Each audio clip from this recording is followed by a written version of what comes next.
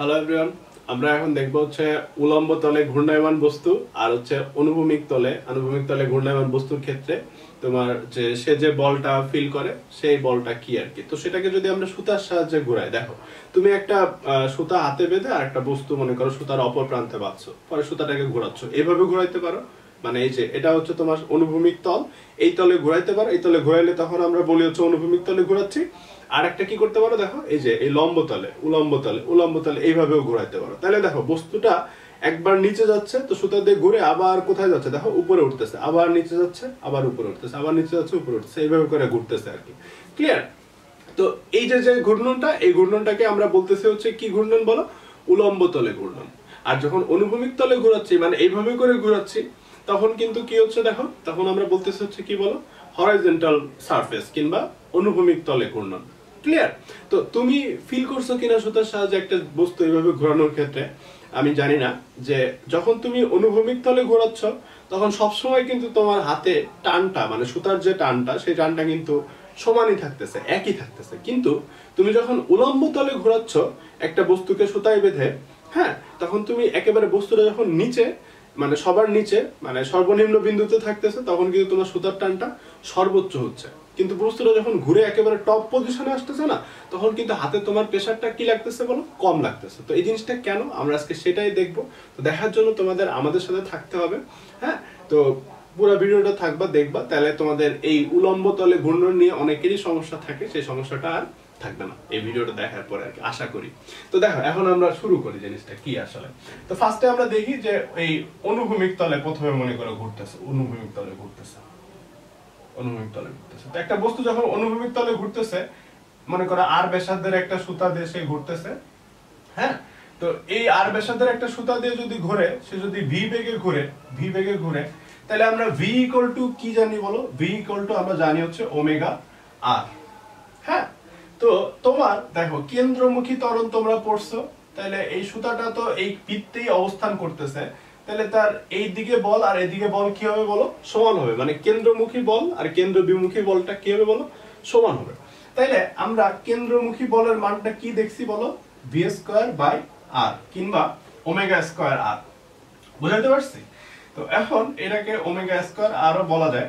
তো আমরা F equal to মানে এই যে কেন্দ্রমুখী যে বলটা এম এফ ইকুয়াল টু আমরা কি বলতে পারি বলো? এম ইনটু কেন্দ্রমুখী বলের সমান পরিমাণ ত্বরণ দিয়েই সে বাইরের দিকে একটা ফোর্স থাকবে।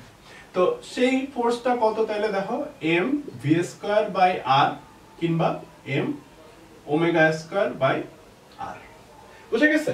তো এখন এইখানে, এখানে কিন্তু তোমার কি দেয় বলো? এটার সাথে তার ওজনটা কিন্তু এই যে ভিতর দিক বরাবর। মানে আমরা যদি এটাকে তল চিন্তা করি, ওজনটা হচ্ছে মনে করো নিচের দিকে কাজ করতেছে কিংবা তলটা যেখানে, সেই তলের নিচের দিকে কাজ করতেছে। তো তার সাথে কিন্তু এই বলের কোনো সম্পর্ক নেই নাইনটি ডিগ্রি অ্যাঙ্গেলে তুমি দেখো তুমি চিন্তা করো একটা এইভাবে ঘুরতেছে, তাহলে তোমার ইয়াটা কোন দিকে? তোমার দিক বরাবর যে বাইরের দিক বরাবর। কিন্তু ওজনটা কোন দিকে? নিচের দিকে। তো দুইটা বল নাইনটি ডিগ্রিতে থাকলে কেউ কাউকে কিছু করে না। মানে এরা হচ্ছে তোমার কি বলে? যে জিনিসটা মানে একজনের সাথে আরেকজনের কোনো সম্পর্ক নাই, উপাংশ নাই। যেহেতু আমরা জানি যে একজনের সাথে আরেকজনের উপাংশ, সেটা ডিপেন্ড করে কস থেটার উপরে। তো কস নাইনটির মান তো শূন্য। তো সেই জন্য তোমার ওজনের সাথে এর কোনো সম্পর্ক নাই। তো সেই বস্তুটা এখানে যাক, তখনও তার ফোর্সটা কি? কেন্দ্র বরাবর বাইরের দিকে এফ সেই এফটাও তখনও হচ্ছে কি বলো? এম ওমেগা স্কয়ার আর এখানে যাক মানে এটা হচ্ছে অনুভূমিক তলের ক্ষেত্রে আমরা চিন্তা করতেছি আর কি। অলওয়েজ তোমার এফটা হচ্ছে কত বলো? এম ওমেগা স্কয়ার আর কিংবা এম যেটাই বলো না কেন ওমেগা হচ্ছে তোমার বেগ।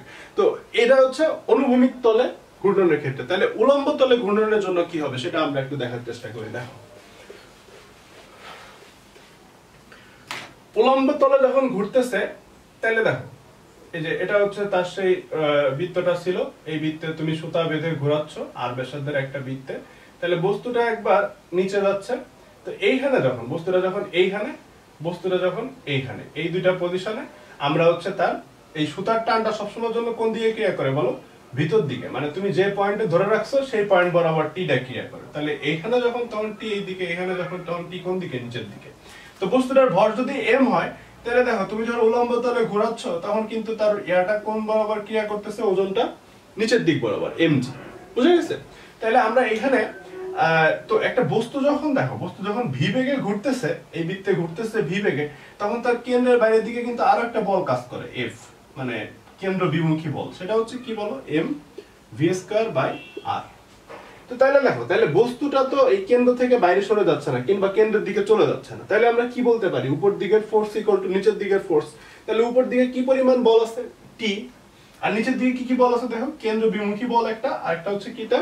ওজন। হ্যাঁ?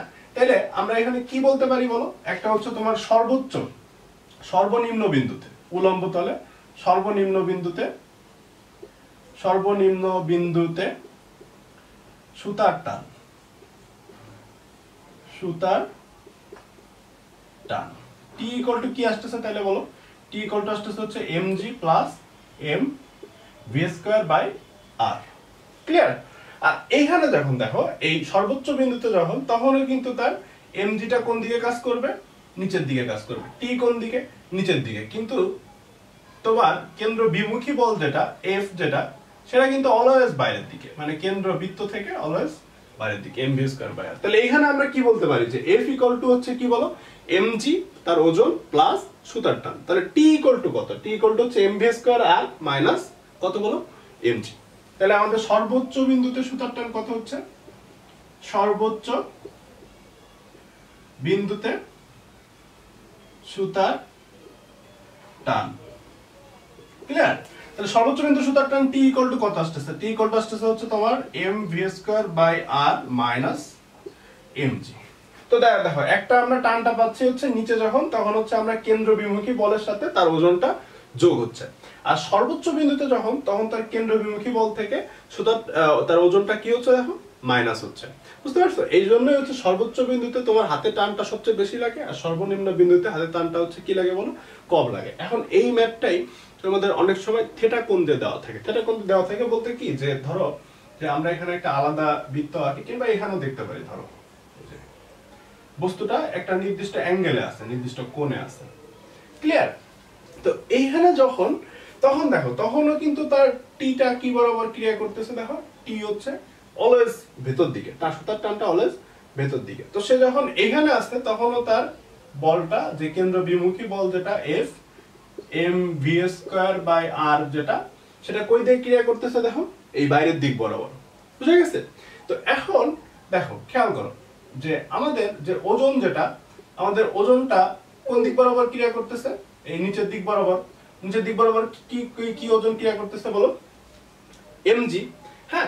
তাহলে এটা যদি থেটা হয়, এটা যদি থেটা হয় মানে এই কোণটা যদি থেটা থাকে, এটা যদি দেওয়া থাকে কোশ্চেনে এটা যদি থেটা হ্যাঁ? তাহলে এমজি এর কয়টা উপাংশ আসলে বেসিক্যালি এমজি এর দুইটা উপাংশ, একটা হচ্ছে কি দেখো, একটা হচ্ছে যে এফ বরাবর ক্রিয়া করবে, আর একটা হচ্ছে কি বরাবর ক্রিয়া করবে বলো? এই যে এই বরাবর ক্রিয়া করবে হ্যাঁ? তাহলে এই দিক বরাবর এফ এর সাথে তোমার দেখো, কি যোগ হচ্ছে?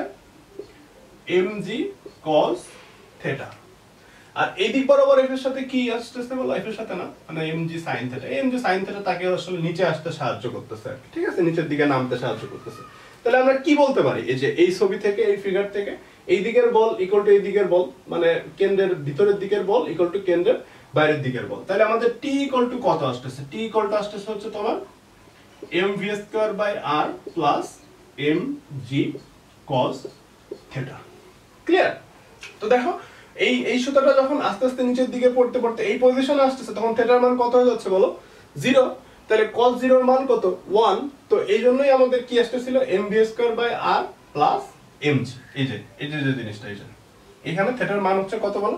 সর্ব, সর্বনিম্ন বিন্দুতে theta equal to zero degree তাহলে বস্তুটা যখন সর্বোচ্চ বিন্দুতে পৌঁছাচ্ছে, তখন থেটার মান কত ডিগ্রি আসতেছে বলো তো? থেটার মান আসতেছে হচ্ছে একশো আশি ডিগ্রি খেয়াল করো যে এই বস্তুটা, এই যে সুতাটা ঘুরতে ঘুরতে ঘুরতে ঘুরতে যখন এই পজিশনে আসতেছে, তখন থেটাটা কত ডিগ্রি আসতেছে? এই পুরা কোণটা আসতেছে না? এই পুরা কোণটা কত ডিগ্রি একশো আশি ডিগ্রি তাহলে আমরা যদি এখানে বসাই কজ অন এর ভ্যালু কত? মাইনাস ওয়ান তাহলে আমাদের কি আসতেছে বলো? এই যে M V square by R minus M G এভাবে তোমার যে থেটাটাই যেখানে, যে পজিশনে দেওয়া থাকলে কেন, উলম্ব তাহলে ঘূর্ণনের ক্ষেত্রে তুমি সেটা বের করতে পারবে। তো আশা করি তোমরা এটা বুঝতে পারছ আর কি হ্যাঁ? তো তোমাদের এই টাইপের ম্যাথ করতে সমস্যা হবে না। হ্যাঁ অনেক সময় দেখা যায় কি যে তোমার ভি দেওয়া থাকে না। তো বস্তুটা প্রত্যেক প্রতি মিনিটে কিংবা প্রতি সেকেন্ডে কতবার ঘুরতেছে সেই জিনিসটা দেওয়া থাকে। তো এটা দিয়েও কিন্তু আমরা ভি নির্ণয় করতে পারি। মানে ওমেগা দিয়ে আসলে বের করতে পারি। ওমেগা ইকুয়াল টু কি বলো? Omega equal to twice pi F কিংবা এটাকে লেখা যায় twice pi by T F হচ্ছে কম্পাঙ্ক টি হচ্ছে পর্যায়কাল। ওয়ান বাই টি মানে তো এফ এটা আমরা জানি। কিংবা এটাকে হচ্ছে, মনে করো two pi N by T ও দিয়েও বের করতে পারি। মানে আমরা অনেক সময় কোশ্চেনে ফাজলাম করে যে ধরো তোমার সে টি টাইমে এন বার ঘুরতেছে, এটা বলে দিচ্ছে। তো সেখান থেকে আমরা ওমেগা বের করতে পারি। তো ওমেগা জানলে তো আমরা কি জানতে পারি বলো? ভি জানতে পারি। ভি ইকুয়াল টু কি বলো? ওমেগা আর তো এইভাবে করে আমরা উলম্ব তলে ঘূর্ণনের ক্ষেত্রে যে কোনো অবস্থানে, যে কোনো অবস্থানে, সে যে জায়গায় থাক না কেন, এই বৃত্তে যে পজিশনে থাক না কেন, আমরা সেটা বের করতে পারব। বুঝে গেছে? নেক্সট ভিডিও এখন সবাই ভালো থাকো, সুস্থ থাকো, সাবধান থাকো। আল্লাহ হাফেজ।